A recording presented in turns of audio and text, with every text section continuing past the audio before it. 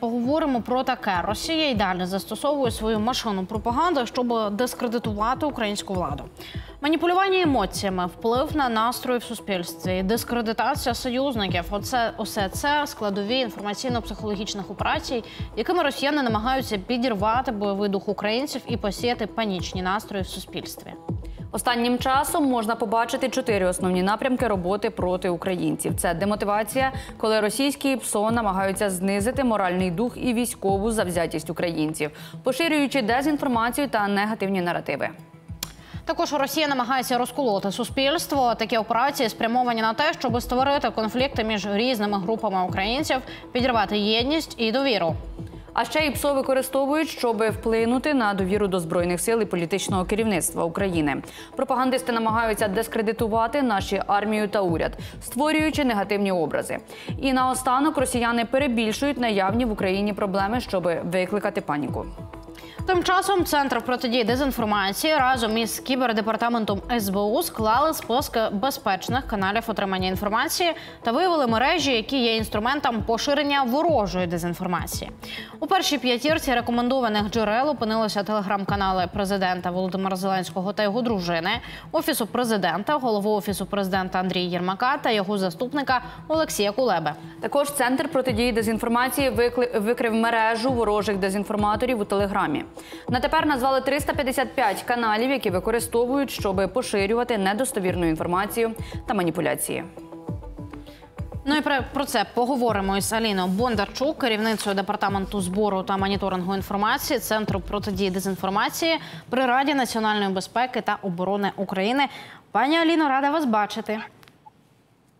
Вітаю. Власне, дуже корисна і дуже корисний перелік з ворожих телеграм-каналів оприлюднив Центр протидії дезінформації. А, але проглядаючи його, побачила, що окрім а, чітко визначених, ну там очевидно, що це е, телеграм-канали, які модеруються із Росії, які ведуться росіянами, які там містять навіть у назві окуп, а, символіку окупантів. Є ще телеграм-канали, які а, створені тут в Україні, начебто українцями. А, Як підбирали це такий список? На що звертали увагу, і як, е, що фіксували, власне, які поширення яких прокремлівських тез фіксували в цих телеграм-каналах? Ми спілкувалися з вами, до речі, пані Дарино, ще перед новим роком і говорили про анонімні е, телеграм-канали. І ви казали, чи є десь цей список каналів, який не можна ні в якому разі читати. Е, Ось цей список створений. Я вам його анонсувала, і ось він створений і опублікований. Яким чином відбиралися ось цей е, список ненадійних джерел? Ми моніторимо телеграм-канали вже третій рік. Пішов як Е, моніторимо інформацію, яка з цих каналів е, збігається. Ви правильно помітили, що там є і російські канали, і канали, які мімікрують, наприклад, під українські, або е, канали, які мімікрують під ліберальні канали російські.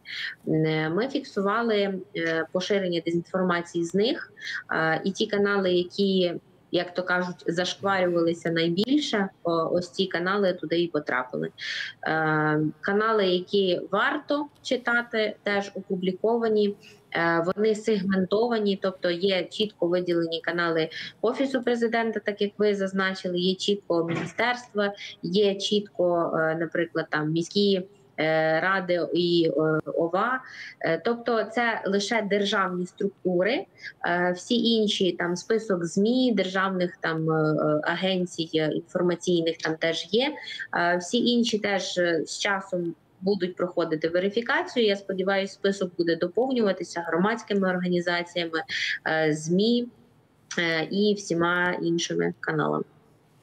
Пані Аліно, а раптом якийсь канал а, захоче подати апеляцію за те, що потрапив до цього списку. Чи буде на це реагувати Центр протидії дезінформації? До чорного списку чи до білого До списку? чорного, до чорного. Я думаю, ті, хто до потрапили до білого, не будуть подавати.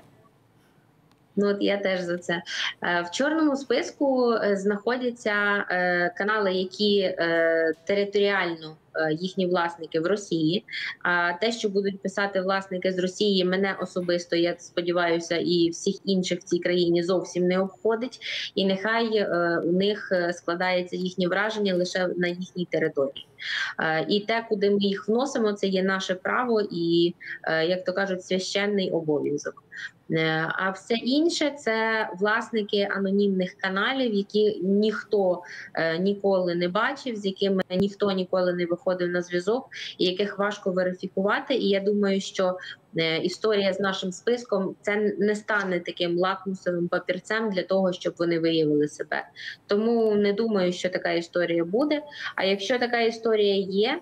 Е, І буде, наприклад, е, окей, нехай подають тоді документи. Ми будемо розглядати цих людей, е, чи дійсно вони є українцями. Ми будемо надавати під як то кажуть, підтвердження їхньої підривницької діяльності, і будемо розбиратися.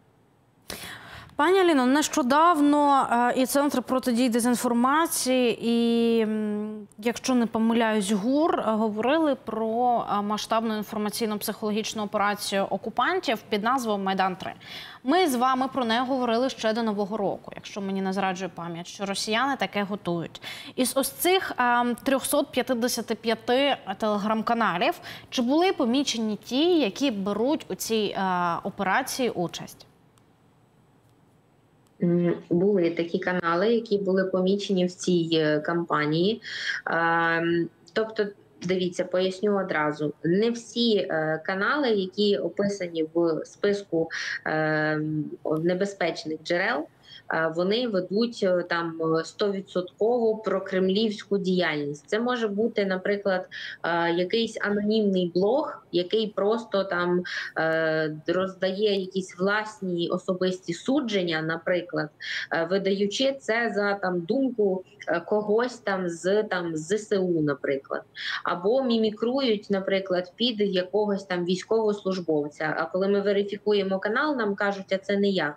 Ну, тобто людина присилає паспортні дані свої. Ми бачимо, що е, вона не відноситься абсолютно до е, цього телеграм-каналу. Він каже: Я не знаю, хто його веде. Тобто тут історія, е, тут зібрані абсолютно всі канали. А коли ми говоримо про сегментацію, то так були дійсно деякі канали, які ось як то кажуть, вірусили ось ці наративи щодо дестабілізації України.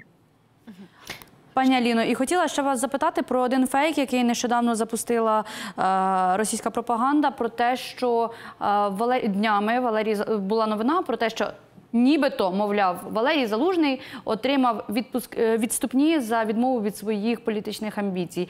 Можете його, будь ласка, прокоментувати? Ми спростовували цю інформацію. Е, Це звичайно ж фейк. Ніхто ніяких відступних Валерію Залужному за його е, там відмову в чомусь е, не давав, зрозуміло. І те, що Валерій Залужний прокоментував в себе в соціальних мережах, я думаю. Ну, це підтверджує.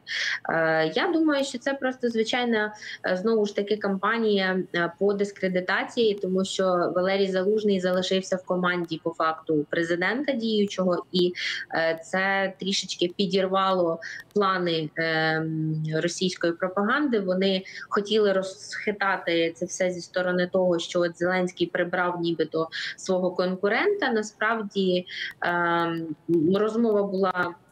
Трошечки інша. Валерій Залужний це підтвердив. Він е, зайняв зараз іншу посаду, залишився в команді президента. І ми, здається, також про це говорили е, з пані Дариною в факт-чеку, коли була ж ця історія з Залужним, Сирським. Е, я тоді казала, що скоріш, ну не скоріш за все, в принципі, кажуть, що рішення буде таке, що Валерій Залужний залишається в команді президента. Так і вийшло, і в принципі, ось ця кампанія по відступних там якихось, або можливо там будуть ще якісь діпфейки робити.